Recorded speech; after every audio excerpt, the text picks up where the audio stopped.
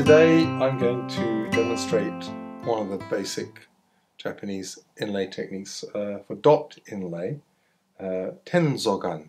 Zogan meaning of course uh, inlay. Tenzogan is in this case uh, meaning dot, or ten, tenzogan, dot inlay. Uh, this is just a piece of copper uh, sheet. You can see it's a little bit irregular. I'm going to show you how I prep things, just for those of you who have not followed me through this process. Um, you can see it's a little bit distorted, so first thing I want to do is flatten it. I'm going to use a wooden mallet. I like to use wooden mallets. Um, they're a little bit more precise than leather mallets for small things in particular. So I'm going to put it face down on my on my flat iron, and I'm going to specifically hit the edges, and very carefully hit the edges. Notice how I'm just using that part of the wooden mallet just there and I'm catching exactly where I want it. I'm not just randomly flailing away, mindless hammering, hoping the metal will somehow make itself flat out of misery. So tap along the edge, very precisely. I know exactly where I'm hitting. And there's one last little raise, but this has obviously come off the guillotine, so it's distorted the metal.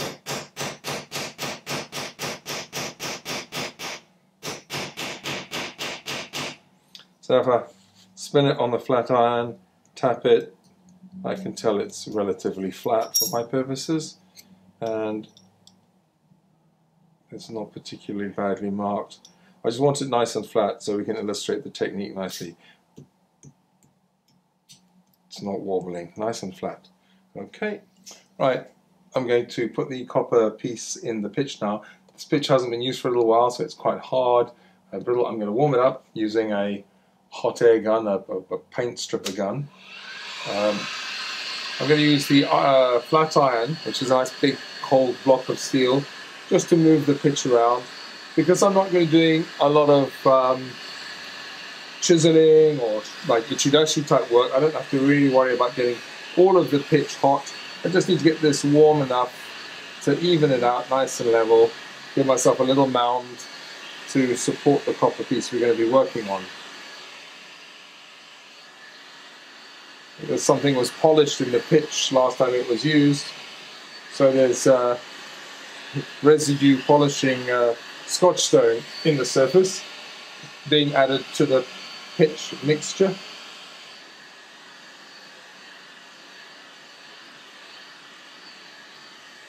Important not to let the pitch get too hot.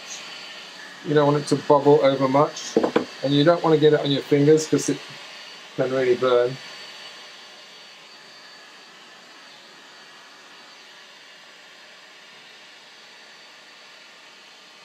Really important to stay in control of the pitch.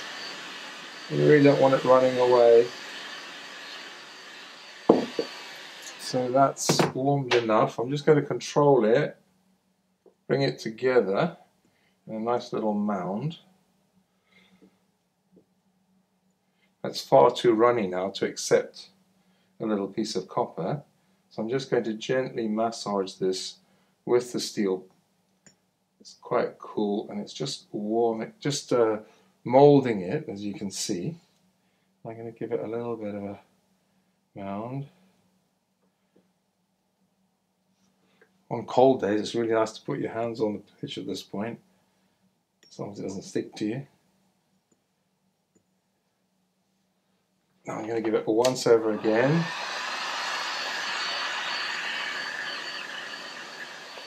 Give it a bit of a gloss. Now there's quite a lot of heat in the pitch, so I don't really have to warm the copper. I'm just going to pop it on top, and I can feel the heat coming through.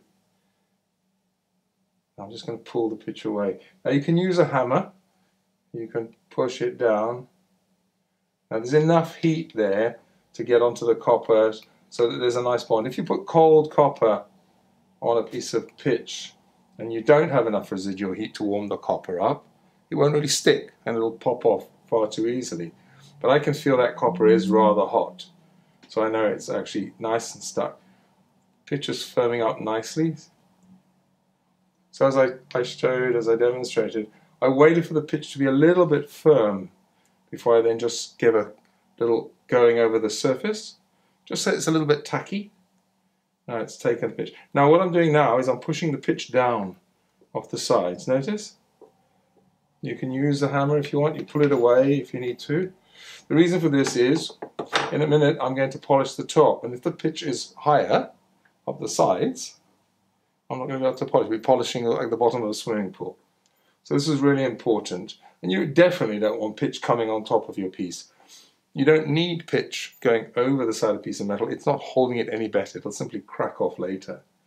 And we'll have no cracking off around here. Right, that's okay. At this point, you can put a, a wet flannel on it to cool it down. Um, I'm going to use a little bit of tissue, a bit of water, just to cool it down. It's quite important at this stage, don't wander off and make a cup of tea and wait for it to cool because sometimes uh, you may find that your piece has sunk down. You really need to stay on top of things.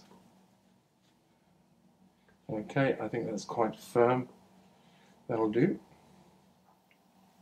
Right, so it's nice and cool now. I'm going to use a water or Scotch stone. I know these are hard to come by nowadays. There is a Japanese stone called the Nagura stone, which is this stone. It's a, a, a dark grey, slightly finer grain.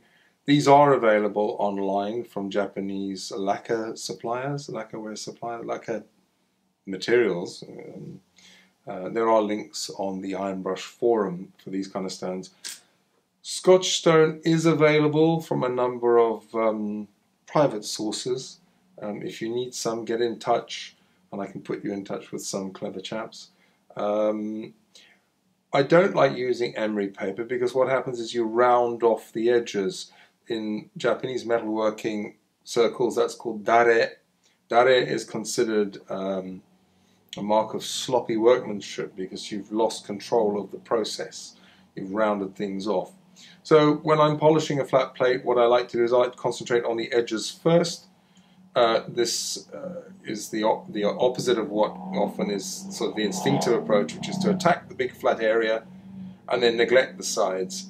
Um, it's not absolutely necessary, of course, but I like to do things thoroughly, and I like to instill um, a, a, an attitude of care, uh, especially in training exercises. So this is how I go about it: bit of water, just a dab, and it's the slurry that's doing the work.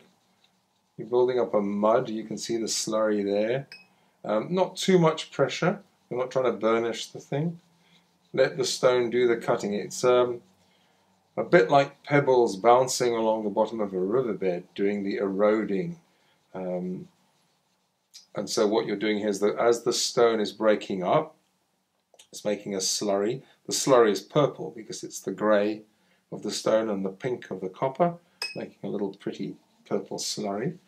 So I'm just working the flat edge, wipe it clean, and I think that's a reasonable start. So that's one edge. I'm going to come around the other one. Doesn't take a great deal of work if you've prepared the material nicely and you've flattened it. And there's not too much pressure. You're not trying to get white knuckles. And that little high spot there is now gone. There's the one over here, so we'll come around this final, or low spot, not a high spot, it's a low spot.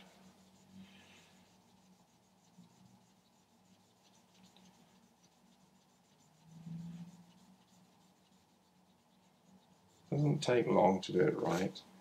And there's a little bit of a mark here, I'm going to concentrate there.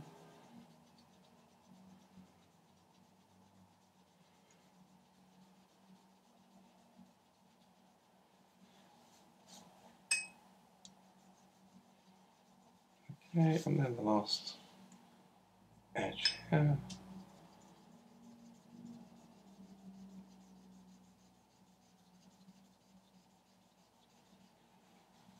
This is just kitchen towel. And So I keep wiping away so I can see what I'm doing. I can see the results of the work. And I'm doing very specific things. I'm seeing, oh, there's a little mark there, so I'll concentrate there. It's paying attention to the process, and I'll reiterate this at every turn. Observe what you're doing. If it's not working, do something else. Change direction again. So now we've just got a little bit in the center. I'm going to go one direction. Is that a boy band? It sounds like it, doesn't it?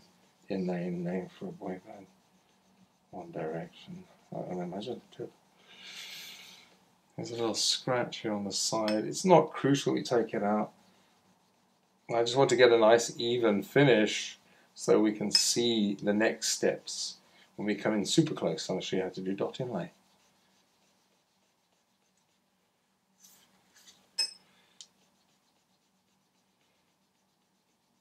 I'm going to just finish off all in one direction. Damn, boy bands again.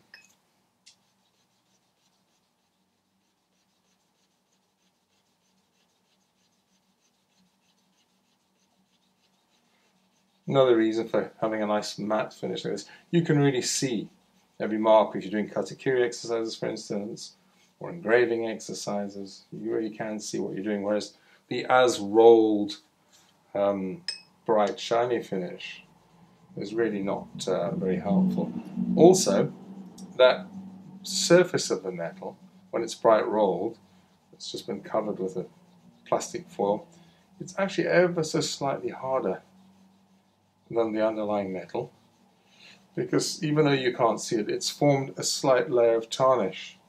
And that layer of tarnish is in fact slightly harder. So when you first put the stone on the copper, and you start gently moving back and forth, you'll feel the moment you cut through that micron thick layer of oxide and you'll suddenly bite into the copper underneath.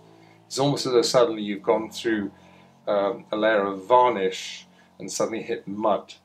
And if you, you should be able to feel it in your fingertips. It's almost as it was, it's become magnetic or something.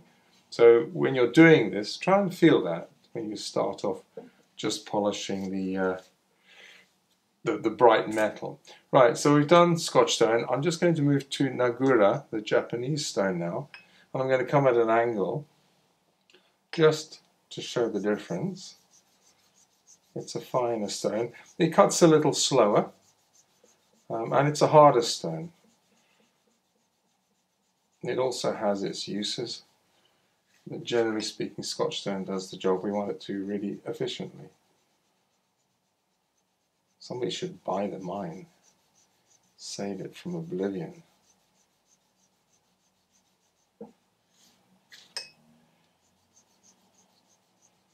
Again, not applying too much pressure, just let the stone do the work.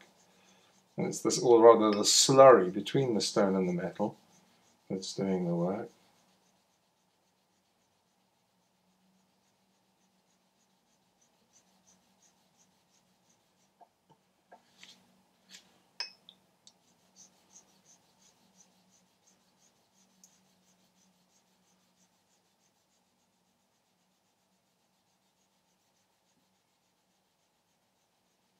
But like watching paint dry, isn't it?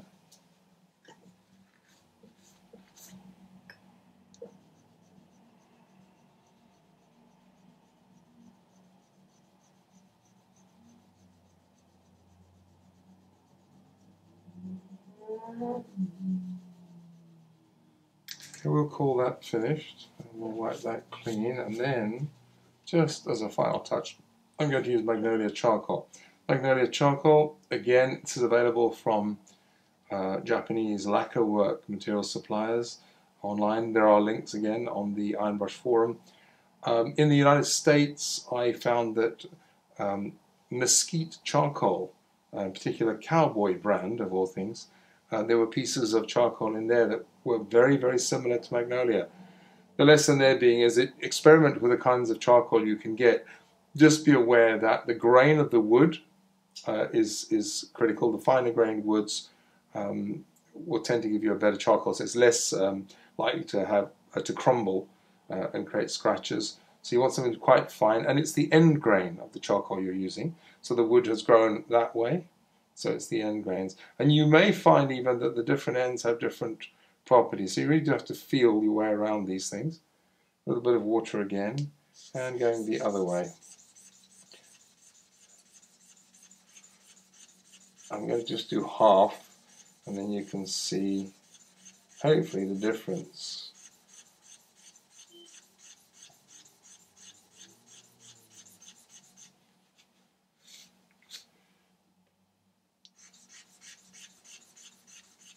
So Again, it leaves a very matte finish.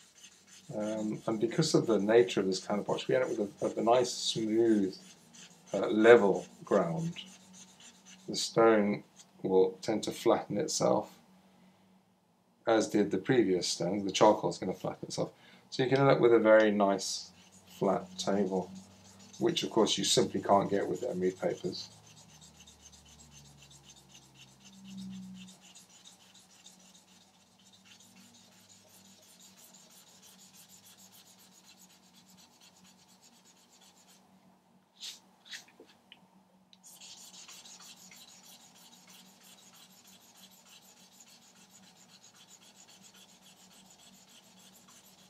Hope you're not bored yet, but you did say you wanted to watch everything in real time.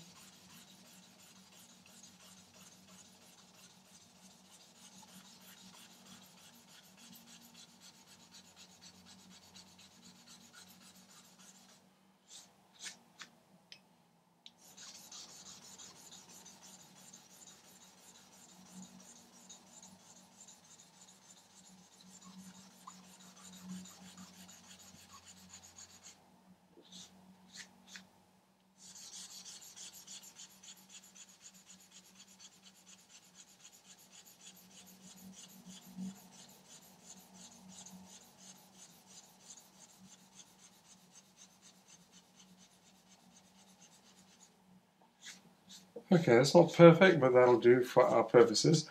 Um, this is probably delivered uh, something the equivalent of a 1200 grit finish. You can see how flat the charcoal has become.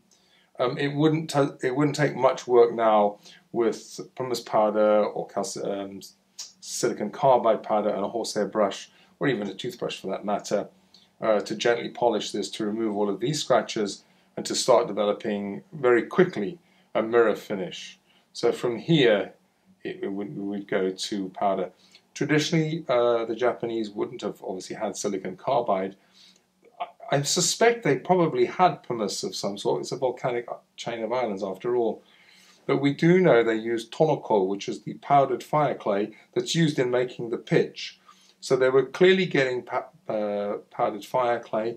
I suspect also, and I think I've read uh, in various old texts, that they used to collect the, the, the slurry from polishing uh, in water. So the, the stones that were used perhaps by sword polishers, um, that mud uh, is a very fine-grained mud.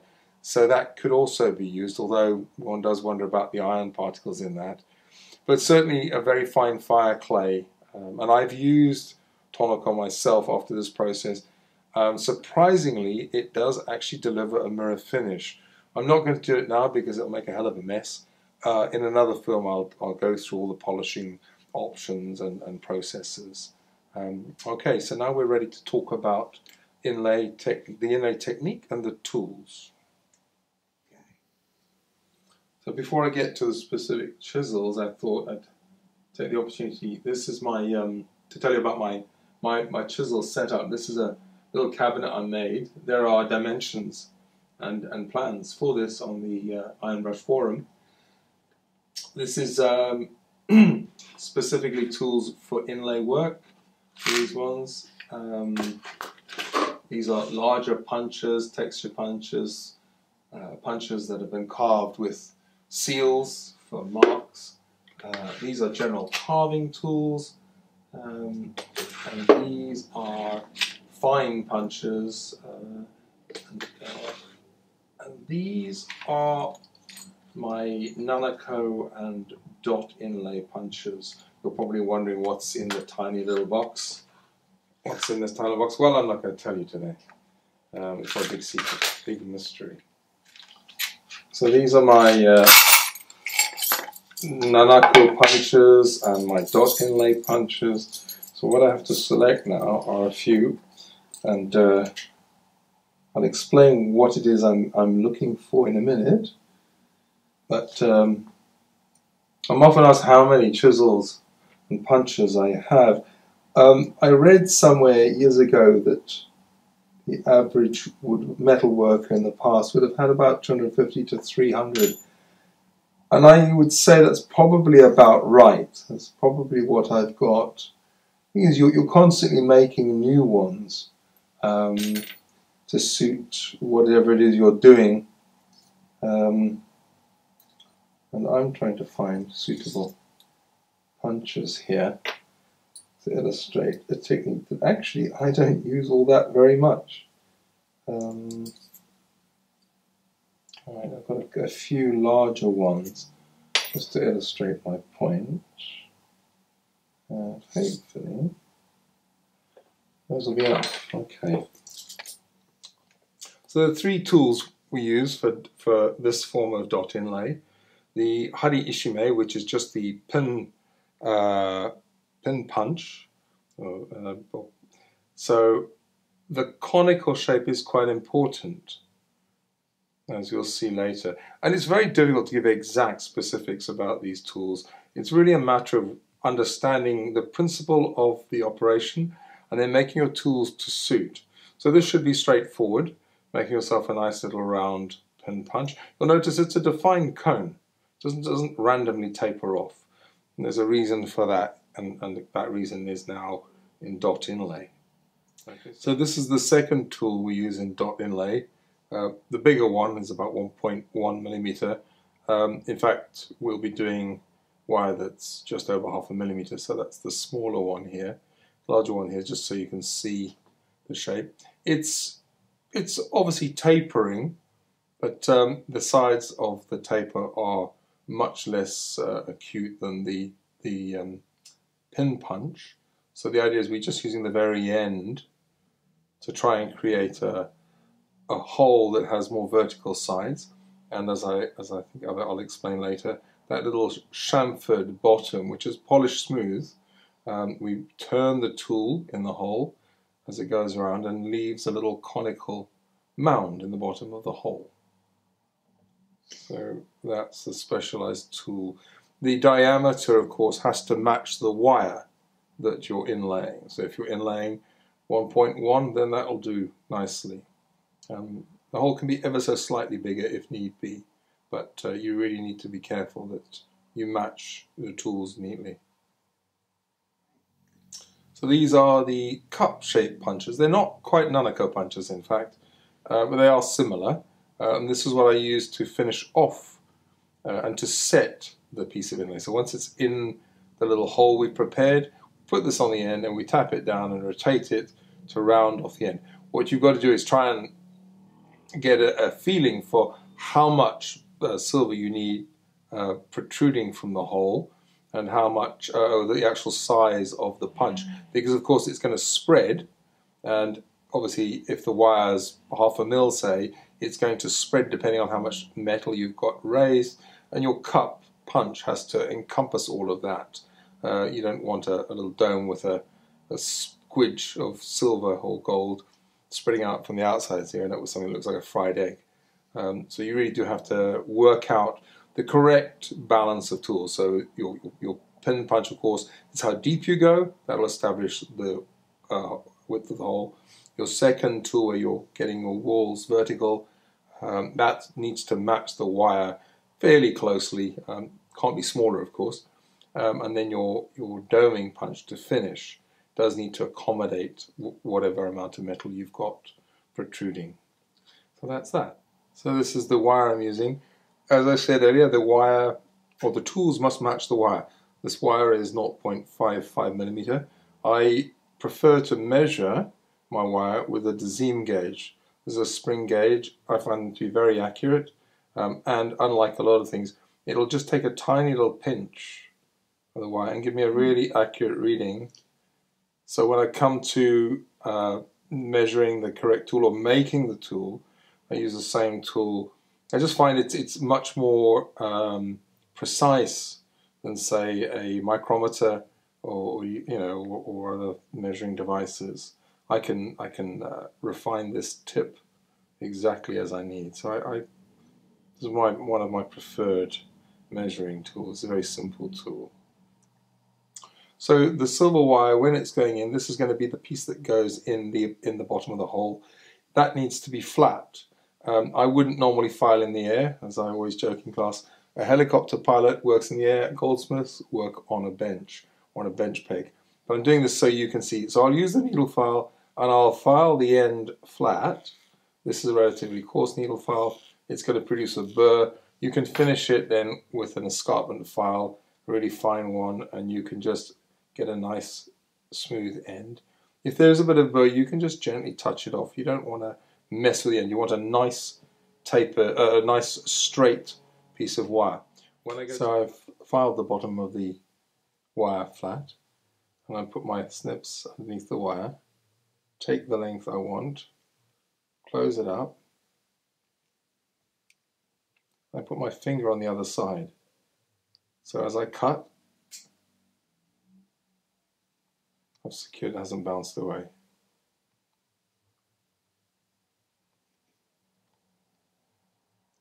Right, so now I'm going to use the Hari Ishime, the pin punch. I've made a tiny little dot here in the metal just so that we can get the focus right. Um, but you probably do that anyway when you are laying out your designs. You'd use a, a, a pin, a pin in a pin vise perhaps. Um, so you'd come in and make a little mark so you know exactly where you want to put your dots. Now I'm going to take the pin punch, put it in position, and tap it a few times. A little bit more. As I'm tapping, I can turn the tool.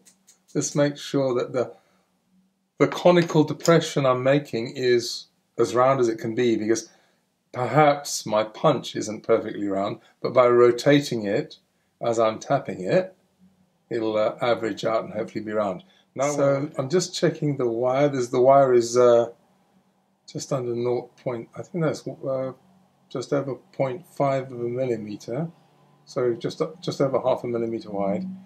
So I'm checking it. You see, I file the end of the wire flattish, which is important. Um, the hole needs to get a little bit wider. So I'm going to go back in with the punch.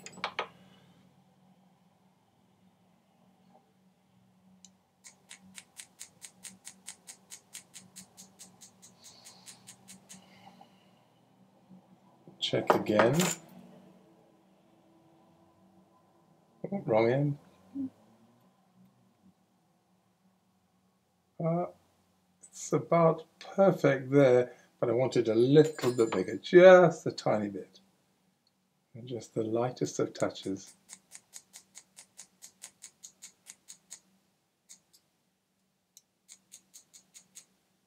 I think that should do me check the wire.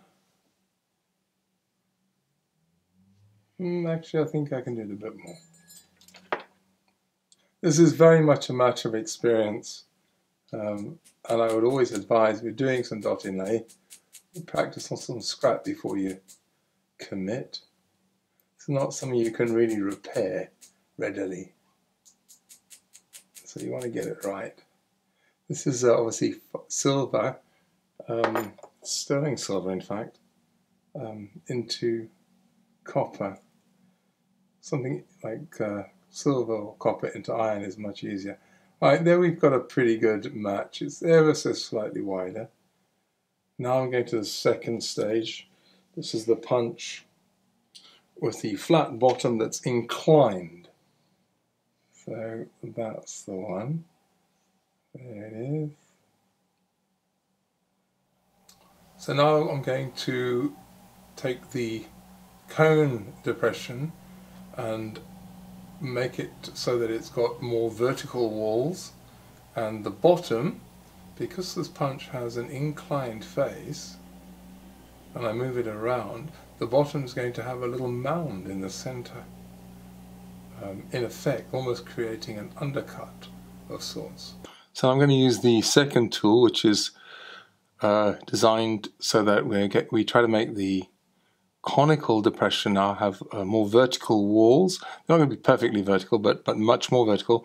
And because of the slant at the bottom of the the punch, um, it's going to as we turn the tool in the hole and I tap it, it's going to create a little mound in the center. So you can imagine a sort of inverted cone at the bottom of the hole. So here we go. If only you knew how awkwardly I'm having to do this around a microscope. and the camera, you'd be doubly impressed. I'm impressed because I can't see what I'm doing. Then again, I am a Jedi Knight. Is that deep enough? Well, there's a nice little mound at the bottom uh, because I've worked very carefully. And this is important when you do this to be able to see what you're doing. So you can see the little mound. That little mound is now going to cause the wire, when you put it in, when you tap the wire in, it's going to cause the bottom of the wire to splay out a little bit. And it's that, of course, that locks the piece of uh, inlay in place. I'm going to check that my silver fits. It should fit nicely now. Oh, wrong end again. The bit that's filed. Yeah, it uh, fits okay. I'm going to go back and just do a little bit more.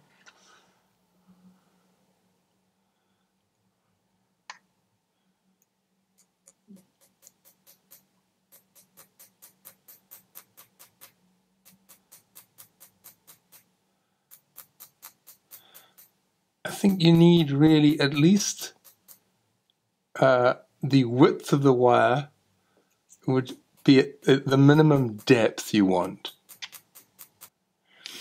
Now, not only have I made a little mound in the bottom of this hole, that bottom is now harder because I've obviously worked hardened it. So whereas copper and silver are very similar in hardness, the bottom of the copper, because it's been work hardened, is a little bit harder than the silver. So it will cause the silver to splay a bit and hopefully lock properly at the bottom. Now, I'm going to have to cut a little piece of silver. And there's no really no clever way to do this. I've filed the bottom of a piece of wire and I'm using snips, I'll show you in a minute. This is where it gets rather tricky. There's my little piece of silver cut.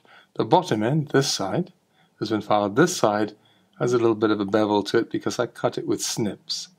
Now, this is my doming punch.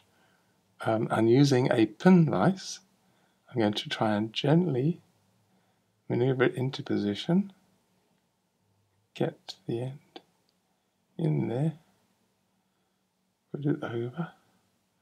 Now there's a little bit of a burr on the wire from where I filed it, but that's fine. What I want to do is get the end of the wire.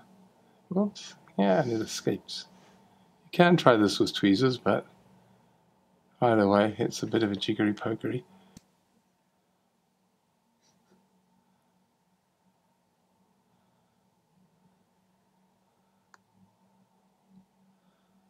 Uh,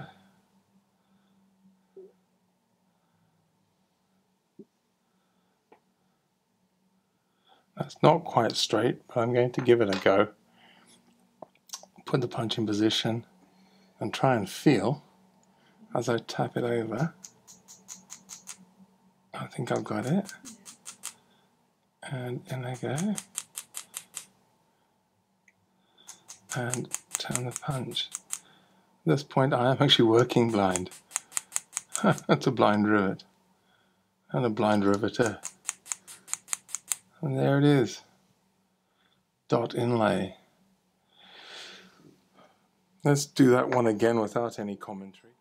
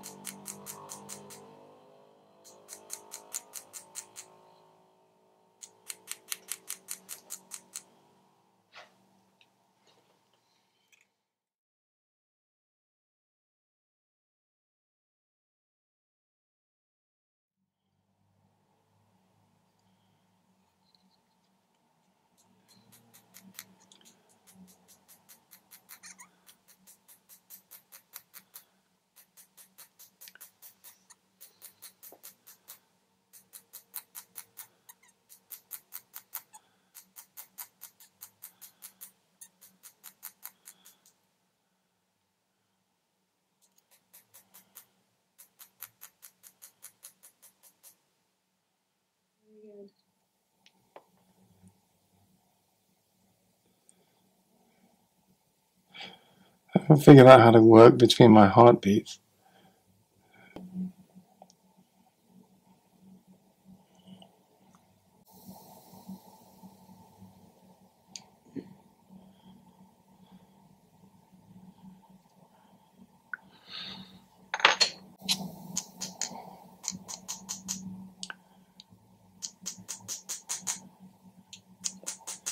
Well, that was Ten zogan or, or dot inlay.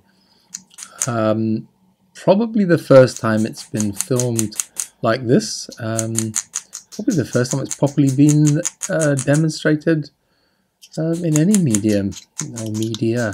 Um, I hope what I presented um, was clear enough uh, and that you'll be able to follow this we will deal with the making of the tools in the uh, the specific tool making videos I spoke of that we'll be doing shortly.